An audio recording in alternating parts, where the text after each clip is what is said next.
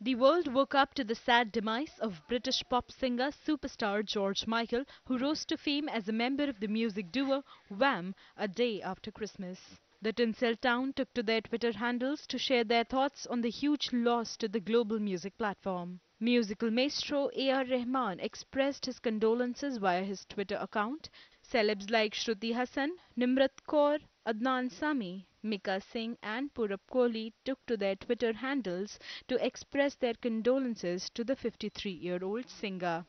The pop icon passed away on Sunday at the age of 53 due to heart failure, as confirmed by his publicist to BBC. George Michael had an award winning career in the music industry that spanned for nearly 40 years.